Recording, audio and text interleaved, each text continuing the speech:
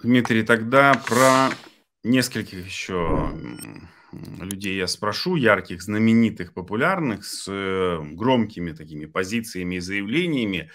Вот э, э, на ваш взгляд, такая яркая позиция Максима Галкина сейчас, антивоенная, антипутинская, проукраинская во многом, и одновременно с тем, вот сейчас там видео, там, где он выступает в Крыму на День России, со сцены там что-то рассказывает или там, там, где он пародирует э, президента Зеленского в такой немножечко неуважительной форме.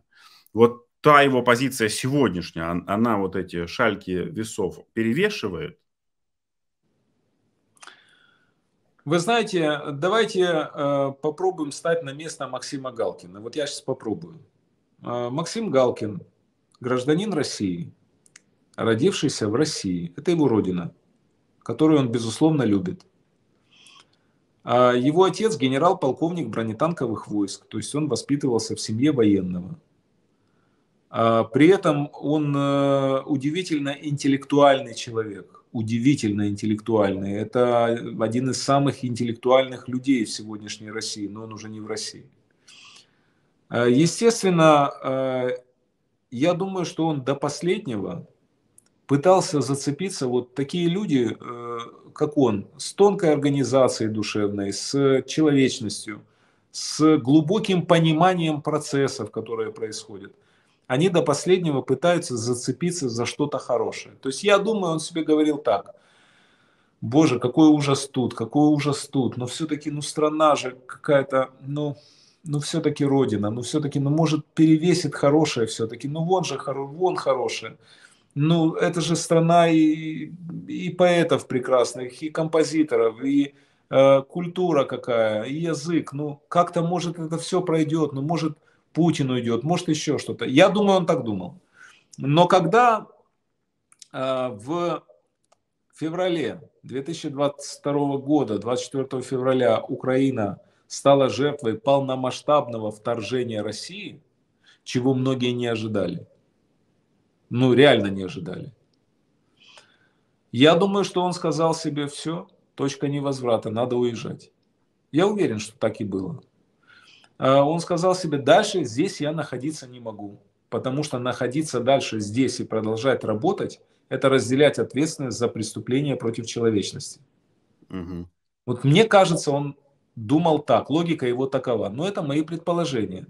Вот, в любом случае, это порядочнейший человек, который не побоялся поднять свой голос в защиту угнетенной Украины, угнетаемой Украины, который не побоялся назвать вещи своими именами и вместе с женой, вместе с двумя маленькими детьми уехал, он совершил поступок. Поступок, который э, я считаю, я безмерно ценю это.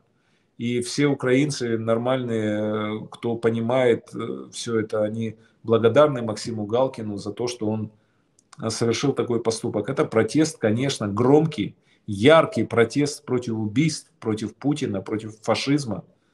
Он встал в полный рост, он потерял там все, поверьте мне. Я думаю, что и замок отберут. Если, да, инициатива, которая озвучена в Госдуме о том, что можно заочно судить и конфисковывать... Да, она же не просто народа, озвучена. Она же не просто скорее озвучена. Всего, многие, да, останутся, в том числе и Вы же понимаете, что если звезды зажигают, значит, это кому-нибудь нужно. Если, если инициатива уже зажигают. прозвучала, значит, она получит дальнейшее продолжение. Поэтому низкий поклон ему, он, он и такие люди, как он из российской культуры, они для Украины сделали огромное дело, я считаю, и мы будем это помнить всегда. Зрители спрашивают, Наталья спрашивает, как вы относитесь к Семену Слепакову?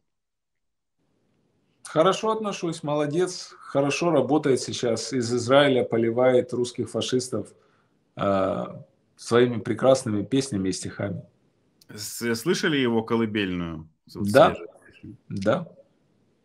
Ну, то есть явно Семен возвращаться в Россию при режиме Путина не планирует.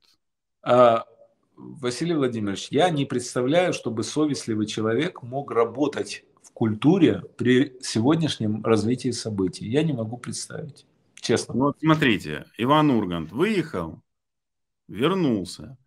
Эм, на Первом канале программы не ведет, но ведет корпоративы. Появилась информация, что вот недавно отменили его концерты, которые он поет под псевдонимом Гриша Ургант. И, значит, несколько концертов его отменили, он там вышел там, с заявлением, что не волнуйтесь, все нормально. Но факт есть факт. Отменили. Э, как, как вы думаете, что ждет Урганта в России?